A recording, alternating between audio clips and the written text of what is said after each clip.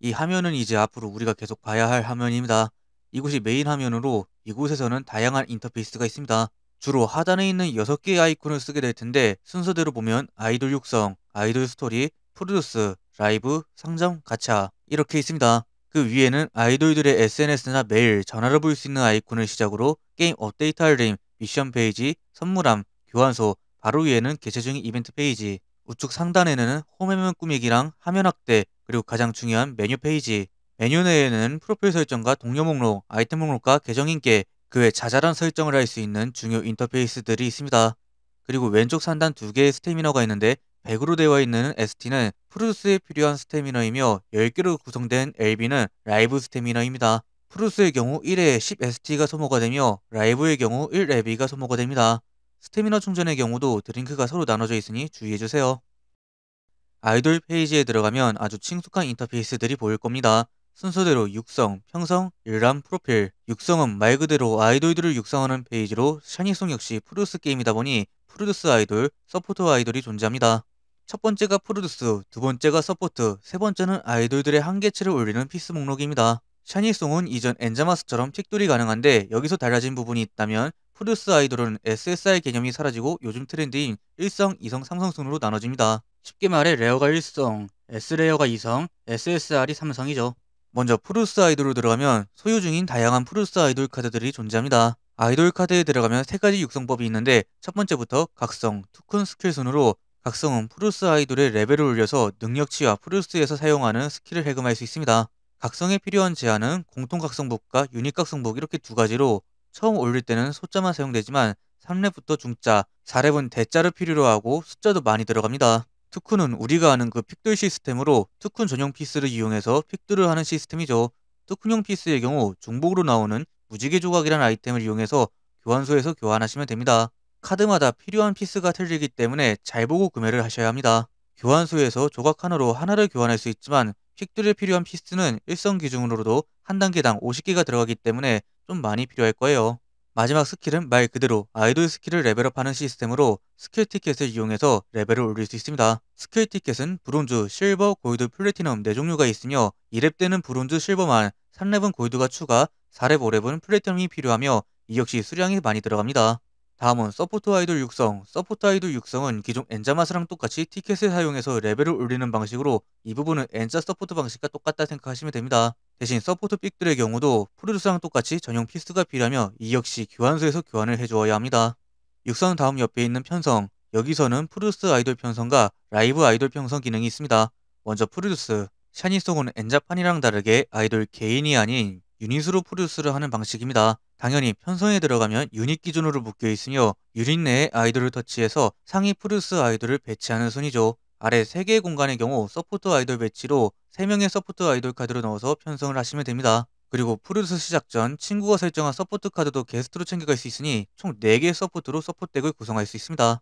라이브 편성의 경우 우리가 흔히 아는 데레스테, 밀리시타, 사이스타처럼 5명으로 라이브 유닛을 구성하는 시스템입니다. 샤니송은 이전에 말한 것처럼 프로듀스 아이돌을 육성해서 라이브 유닛으로 구성할 수 있습니다. 육성 아이돌은 기존 아이돌보다 더욱 강력한 스탯을 부여하고 있으며 개별 스킬도 존재합니다. 또한 프로듀스 아이돌은 라이브 페이지에서 원하는 커스텀이 가능하죠. 지금은 커스텀 액세서리가 없지만 점점 늘어나면 원하는 모습으로 꾸밀 수 있죠. 단 기본 프로듀스 아이돌은 커스텀이 불가하며 오로지 육성한 육성 프로듀스 아이돌만 커스텀이 가능하니 주의해주세요. 마지막 일람의 경우 보유한 카드 종류나 페스 유닛 목록, 프로듀스 아이돌 목록을 볼 수 있으며 프로필의 경우 아이돌 프로필을 볼 수 있는 페이지입니다. 여기서 각 아이돌의 프로필과 status, 대사 등 다양한 아이돌 내역을 확인할 수 있습니다. 여기서 주목해야 하는 것은 하즈키씨 페이지도 따로 있다는 것. 하즈키씨 역시 support 카드로 존재하기 때문에 따로 대사창이나 프로필, 카드 목록이 존재합니다. 스토리 페이지는 유닛별 스토리를 시작으로 아이돌 개인 스토리, 이벤트 스토리, 엑스트라 스토리, 즐겨찾기에 검색 기능이 있습니다. 첫 번째는 유닛 스토리로 유닛의 이야기를 감상할 수 있습니다. 유닛 스토리는 현재 각 유닛당 2화까지만 해금이 되어 있으며 후의 스토리는 추후에 업데이트될 예정입니다. 두 번째는 아이돌 스토리, 아이돌 개인의 이야기를 감상할 수 있습니다. 개인 스토리의 경우 아이돌 신뢰도를 2로 만들어야 1화, 3으로 만들어야 2화를 감상할 수 있습니다. 세 번째는 이벤트 스토리, 샤니송에서 개최한 이벤트 스토리를 감상할 수 있습니다. 이벤트에 참가해 이벤트 스토리를 해금하면 여기서도 감상이 가능합니다. 엑스트라는 특별 스토리이며 즐겨찾기는 좋아하는 스토리를 즐겨찾기 하면 나오고 검색은 특정 스토리를 검색할 수 있습니다. 이 게임의 첫 번째 아이덴티티 produce 모드 produce에 들어오시면 8팀의 유닛으로 구성된 페이지에 들어오게 됩니다. 여기서 자신이 좋아하는 혹은 도전하고 싶은 유닛을 produce할 수 있죠. produce의 경우 3개의 난이도가 존재합니다. easy, normal, hard 처음에는 easy만 해금되어 있지만 clear할 때마다 난이도가 열리며 더 어려운 난이도에 도전할 수 있습니다. 난이도 해금은 각 유닛마다 개별 해금이니 일루미를 easy로 clear해도 안티카의 normal이 해금되지 않습니다. 각 유닛마다 권장하는 속성이 있는데 보컬, 댄스, 비주얼 3개의 권장 속성이 존재하며 그 속성을 중심으로 produce를 하시거나 혹은 자신만의 방식으로 produce가 가능합니다. 난이도를 선택하고 들어가면 produce 설정이 있는데 이 화면이 지금 아이돌의 stat과 스킬입니다. 지금 보고 있는 페이지에서도 produce 아이돌과 support 아이돌을 편성할 수 있습니다. 편성뿐만 아니라 다양한 기능이 있는데 하단의 계승 아이콘의 경우 이전 produce하는 유닛을 설정하여 그 페스 유닛 속에 있는 support와 기술을 상속받는 시스템입니다. 엔자의 경우 스텝의 노하우북 같은 개념이며 더 비슷한 개념으로 들어가면 옆집의 우마무스메의 인자 계승이랑 비슷하다고 보면 되겠네요. 높은 난이도, 강한 stat과 카드로 육성하면 육성할수록 강력한 페스 유닛이 탄생하기에 그것을 계승하여 더욱 강하게 produce가 가능합니다. produce 기능에는 또 하나의 좋은 기능이 있는데 바로 auto 기능. 기존 난이도를 한번 clear하면 자동으로 produce를 진행해주는 기능입니다. 내가 만약 easy 난이도를 clear했다면 번거롭게 계속 수동으로 플레이하는 것이 아니라 auto로 자동으로 플레이해서 페스 유닛을 탄생할 수 있습니다. 대신 수작업에 비해 능력치는 많이 낮으니 참고해주세요. produce 중 플레이 방식의 경우 각 유닛마다 다양한 플레이 스타일이 존재하는데 이는 엔자판의 유닛 특성을 살린 다양한 방식의 플레이 스타일이 존재하며 각 유닛마다 스타일이 틀리기 때문에 다양한 방식으로 육성 혹은 플레이를 즐길 수 있습니다. 또한 produce 내에는 유닛 스토리를 감상할 수 있는데 기본적인 스토리는 우리가 흔히 아는 엔자판의 첫 유닛 스토리를 기준으로 되어 있습니다. 코메틱의 경우 오리지널 스토리로 되어 있고요. 두 번째 아이덴티티 라이브 라이브의 경우 진짜 설명할 게 없는 게 데레스테, 밀리시타, 사이스타를 해보신 분들이라면 그냥 아 하고 알 수 있게 구성되어 있습니다. 곡은 유닛별 혹은 개인 솔로로 구별해서 고를 수 있습니다. 처음에는 easy, normal, hard, expert 네 가지만 풀려 있지만 expert를 clear하시면 master도 플레이할 수 있게 해금이 됩니다. 라이브는 예전부터 언급된 것처럼 auto 모드랑 통상 모드가 존재하며 거기에 더해 배수 설정, skip 모드가 존재합니다. 우측 하단의 차례대로 auto, 배수 설정, skip 라이브 순으로 auto는 자동 플레이지만 하루 권장 10회입니다. 배수 설정은 최대 LB를 5개까지 소모할 수 있게 설정할 수 있습니다. skip 라이브의 경우 하루 권장 5회이며 이 역시 최대 LB 5회까지 소모하여 라이브를 skip하여 결과와 아이템을 획득할 수 있습니다. 통상 라이브는 우리가 아는 그거니 패스, 유닛 편성 바로 위에는 카메라 설정이 있는데 유닛 전체를 보여주는 통상 모드와 아이돌 한 명에 집중해서 보여주는 포커스 모드가 존재하며 포커스의 경우 편성된 아이돌 중 한 명을 선택할 수 있습니다. 그리고 리겜 유저에게 가장 중요한 라이브 설정 이는 좌측 하단 마이크 아이콘입니다. 들어가면 차례대로 라이브, 상세, 사운드 설정이 있습니다. 라이브는 라이브 중 노트 속도, 판정, 밝기, 라인 투명도, 그리고 중요한 사양 설정도 있습니다. MV 설정은 말 그대로 MV 사용 설정으로 3D, 2D 경량순으로 3D는 우리가 아는 통상, 2D는 일부 특정 MV에서만 나오는 연출입니다. 경량의 경우 연출 없이 그냥 배경만 나오는 설정이니 참고해주세요. 3D 라이브 설정의 경우 라이브 중 사양을 가볍게 설정하는 기능으로 순서대로 강, 약, 없음 순으로 최대한 플레이에 집중하고 싶으시다면 없음으로 해서 최대한 사양을 낮추는 것을 추천드립니다.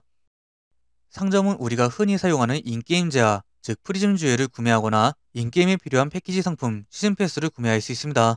첫 번째는 가차나 패키지 상품을 구매할 때 사용하는 유료 프리즘 jewel, 두 번째는 in-game 아이템 세트를 파는 패키지 상품으로 유료 jewel로만 구매할 수 있습니다. 세 번째는 시즌 패스로 유닛을 컨셉으로 해서 각 시즌마다 기간제 패스 패키지를 판매합니다. 패스의 경우 현금으로 구매가 가능하며 시즌 패스 내에는 다양한 in-game 아이템과 시즌 패스 컨셉 유닛의 support SSR 카드, 그리고 아이돌 개별 의상과 custom 액세서리가 들어간 패스입니다. 네 번째 로그인 패스는 말 그대로 로그인 보너스를 한 번 더 받는 패스입니다. 30일마다 갱신이 되며 25일만 로그인해도 가차 10회 분량 재화인 2500 프리즘 쥬얼을 얻을 수 있습니다. 가차 페이지는 뭐 따로 설명할 필요는 없겠죠? 유료 픽업과 무료 픽업이 있는데 유료는 당연 유료 쥬얼로 하는 가차로 무조건 한 장은 3성이 포함된 상품입니다. 무료 픽업은 무료 쥬얼이나 혹은 인게임 내에서 보상으로 주는 가차 티켓으로 뽑을 수 있습니다. 가차의 경우 두 종류로 나눠져 있는데 프로듀스 가차와 서포트 가차로 나눠져 있습니다.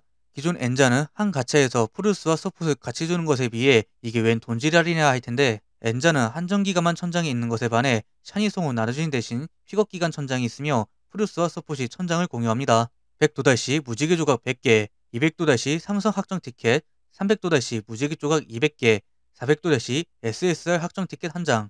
확정 천장이 아니라 생각하시는 분들 이 기준은 오픈 초기 기준으로 후에 개최되는 다른 픽업마다 천장 내용이 틀려진다고 합니다. 단 픽업 종료 후 새로운 픽업이 시작되면 천장은 초기화되니 주의해주세요. 어느 게임이나 있는 데일리, 즉 1일 미션, 샤니송도 있습니다. 샤니송의 데일리 미션 하기는 하단 미션 페이지에 들어가시면 됩니다. 미션 페이지에 들어가면 데일리 미션, 통상 미션이 있으며 후에 개최되는 이벤트에 따라 미션 페이지가 갱신됩니다. 데일리의 경우 8가지가 존재하는데 목록은 1일 로그인, 라이브 플레이, 선물함에 선물 받기, LB 합계 5개 소비, 프로듀스 플레이, SP 합계 20 소비, 프로듀스 아이돌 각성, 프로듀스 아이돌 스킬 레벨업 이렇게 있습니다. 각 데일리 미션의 경우 아이템을 주는 것이 아닌 포인트를 주는데 각 포인트를 이용해서 아이템을 받는 방식입니다. 각 20포인트마다 쥬얼을 주며 최대 100포인트까지 미션 포인트가 있습니다. 미션 전체를 클리어하는 기준으로 150포인트를 주죠. 앞서 말한 각성과 스킬 레벨업의 경우 재화가 많이 들어가기 때문에 매일 할 수 없기에 미션을 이렇게 나눈 것 같네요. 각성, 레벨업을 제외한 미션은 전부 프로듀스와 라이브 관련이고 오토가 있기 때문에 쉽게 클리어할 수 있습니다. 초보자 미션은 총 5개의 스텝으로 존재하며 각각 다양한 미션이 존재합니다. 각 스텝은 전 단계를 해금할 때마다 풀리며 전부 달성하면 2500 프리즘 쥬얼을 획득할 수 있습니다.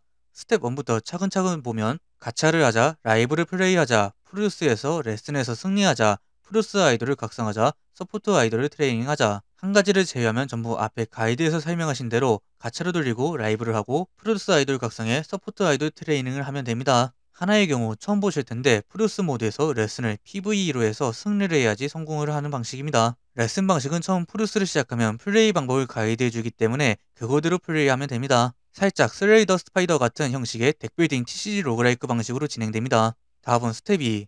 스킵 라이브를 하자, 오토 라이브를 하자, LB 소비 설정을 2 이상으로 하고 라이브를 플레이하자, 라이브 유닛을 편성하자, 라이브 관련 미션으로 이 역시 라이브 파트에서 설명한 대로 스킵하고 오토 돌리고 소비 배수 늘리고 원하는 유닛으로 편성하시면 됩니다.